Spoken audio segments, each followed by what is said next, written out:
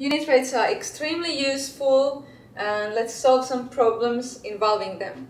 A boat travels 60 kilometers in 5 hours. It's a constant speed. And then how far can it travel in 7 hours? In this problem we are given a rate. The rate is 60 kilometers in 5 hours or 60 kilometers per 5 hours. And then we are asked about the 7 hours. But what we can do is we can first find the unit rate for this situation. See, the rate given is this, 60 kilometers per 5 hours. Now let me write the unit rate. I divide 60 divided by 5, so I get 12. 12 kilometers per 1 hour. And now, for 7 hours, I will write another equivalent rate. From 1 hour to 7 hours, I will multiply times 7, right? And 7 times 12 is 84 kilometers. So the answer is 84 kilometers in 7 hours. If 7 kilograms of raspberries cost $40.95, then how much would 4 kilograms cost? Again, we will use the unit rate. We will find the price for 1 kilogram, okay, for the unit. And then, after that, multiply to find the price for 4 kilograms. You already know how to solve this, but we will now just write it out using rates, okay? So the rate here given is that $40.95 per 7 kilograms.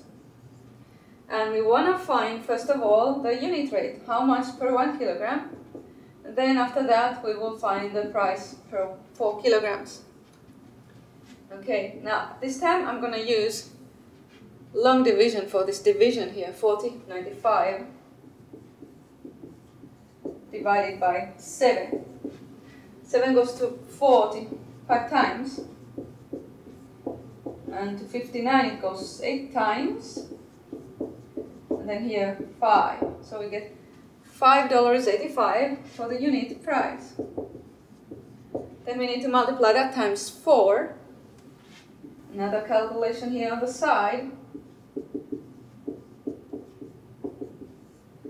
20 and then 34 and 23.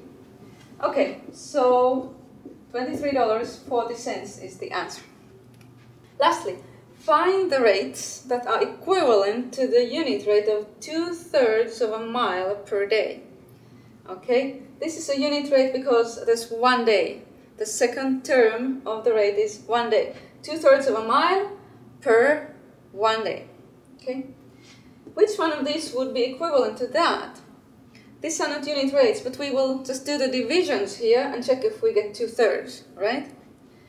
14 divided by 20. I'm going to simplify this rate and check if I get two-thirds. Both of these are divisible by 2, but if I divide, I will get 7 tenths, right? That's not, that's not equal to two-thirds, so this is not. Here, both are divisible by 100, and if I simplify this, I definitely will get two-thirds. It is very easy to see this is equivalent to that. Now here, 15 miles per, 15 miles to 10 days. Okay, I can simplify. 15 and 10 are divisible by 5. So I will get 3 miles to 2 days, right? This is the same as 3 miles to 2 days. But that's not the same as 2 thirds of a mile per day.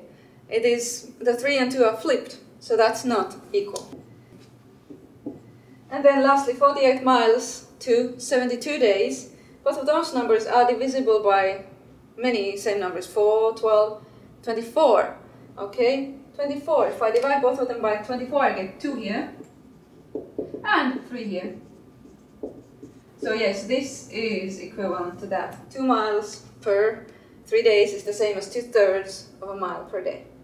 Okay, I hope this was helpful.